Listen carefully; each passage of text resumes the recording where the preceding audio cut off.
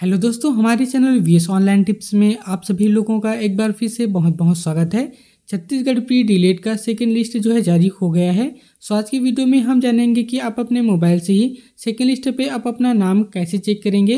अगर आपका सिलेक्शन हो गया है तो आपका सिलेक्शन कौन से कॉलेज पे हुआ है, आप पूरी जानकारी प्राप्त कर सकते हैं। इसके साथ ही दोस्तों, सभी कॉलेज का कटअप कितना गया हुआ है, कितने नंबर वालों का सिलेक्शन हुआ है, पूरी जानकारी आपको इस वीडियो में दी जाएगी। तो चलिए वीडियो शुरू करते हैं।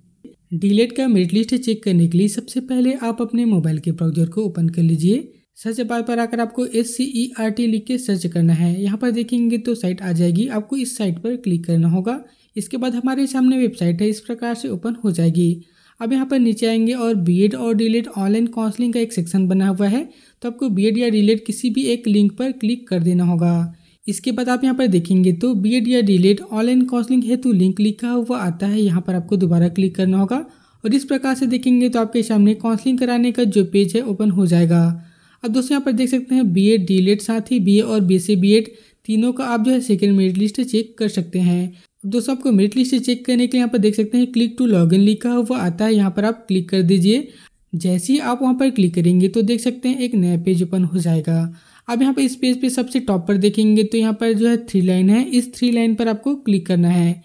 अब यहाँ पर देखेंगे तो बहुत सारा ऑप्शन यहाँ पर ओपन होकर आ जाता है।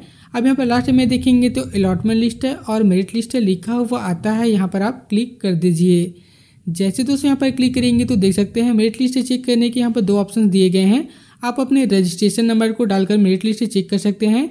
या दोस्तों, यहाँ से सभी कॉलेज का कटअप कितना गया हुआ है, उसे भी आप आसानी से चेक कर पाएँगे। अब सबसे पहले आप अपना जो है रजिस्ट्रेशन नंबर डाल के चेक करने के लिए यहाँ पर देखेंगे तो सर्च बाय रजिस्ट्रेशन नंबर लिखा हुआ आता है, यहाँ पर आप क्लिक करेंगे। इसके बाद यहाँ पर देखेंगे तो नीचे सिलेक्ट एंड कंटिन्यू लिखा हुआ आता है, यहाँ पर आप क्लिक कर दीजिए। काउंसलिंग कराते समय जो आपको डीलेट की जो है रजिस्ट्रेशन नंबर मिला होगा, उस रजिस्ट्रेशन नंबर को आप यहाँ पर डाल दीजिए। इसके बाद फेस पर क्लिक करेंगे, यहाँ पर देख सकते हैं सेकेंड फेस का जो है मेरिट लिस्ट है तो यहाँ पर सेकेंड पर आपको क्लिक करना होगा और नीचे सर्च के ऑप्शन पर क्लिक कर दीजिए।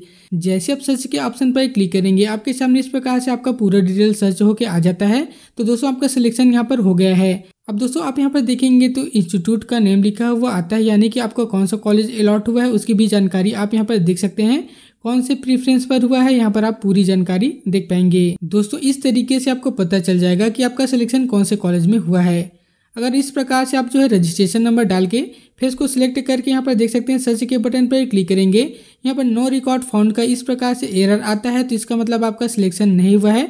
आपको जो है सेकेंड राउंड की काउंसलिंग का वेट करना है। सेकेंड राउंड में जो आपकी लिस्ट आएगी, उस पर आपका नाम आ सकता है। तो दोस्तों, आपको अगले राउंड की काउंसलिंग का वेट करना पड़ेगा।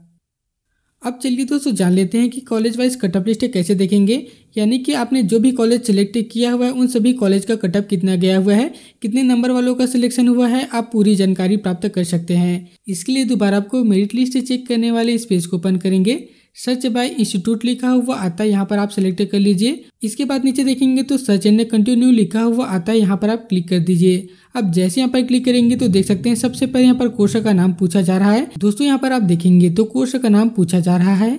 यहाँ पर क्लिक करके यहाँ पर आपको डिलेट सेलेक्ट कर लेना होगा।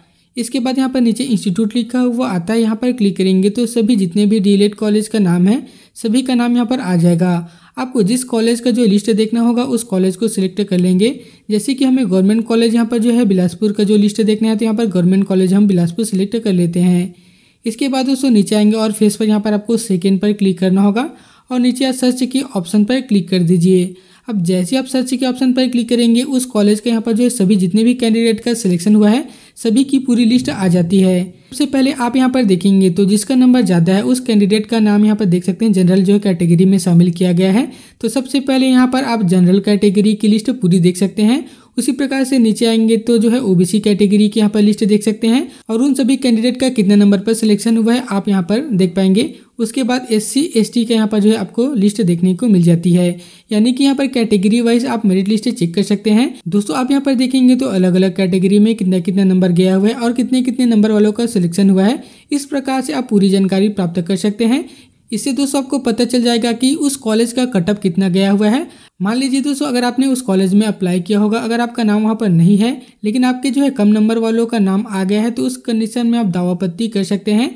दावापत्ती कैसे करेंगे, इसके बारे में अलग से वीडियो में हमने पूरा डिटेल बना दिया है। वीडियो की लिंक नीचे डिस्क्रिप्शन पे दे देंगे। आप वीडियो देकर आप जो है दावापत्ती का प्रोसेस करा सकते हैं। इस प्रकार से दोस्तों, आप जितने भी कॉलेज सेलेक्ट किए हुए हैं, सभी का कॉलेज यहाँ पर कटअप लिस्ट आप चेक कर लीजिए। चलिए दोस्तों, अब जान लेते हैं कि अगर आपका सिलेक्शन हो गया है तो आपको कब तक एडमिशन लेना है। इसके साथ ही अगर आपका सिलेक्शन नहीं हुआ है तो आपको सेकेंड राउंड की काउंसलिंग कब करानी है। अब यहाँ पर शेड्यूल पर देखेंगे तो पूरी जानकारी आपको देखने को मिल जाएगी। अब दोस्तों, आप यहाँ पर देखेंगे तो 26 सितंबर यानी आज आपका सेकेंड लिस्ट है, जारी कर दिया गया है। अब इसमें देखेंगे तो आप जो है छब्बीस से लेकर सत्ताईस तक दावापत्ती का प्रोसेस भी करा सकते हैं। दावापत्ती हो जाने के बाद यहाँ पर देखेंगे तो जो सेकेंड की फाइनल लिस्ट है, यानी आपका अलॉटमेंट लेटर है, तीस तारीख को जारी कर दिया जाएगा।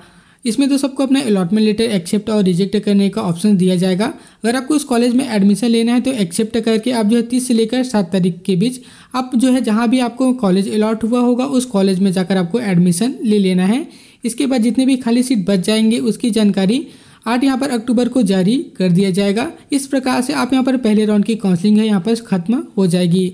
अब इसके बाद आप यहाँ पर देखेंगे तो 10 अक्टूबर से आपकी सेकेंड राउंड की काउंसलिंग स्टार्ट हो जाएगी। अब सेकेंड राउंड की काउंसलिंग में आप नया फॉर्म भर सकते हैं, आप अपने प्रेफरेंस में भी चेंज कर पाएँगे।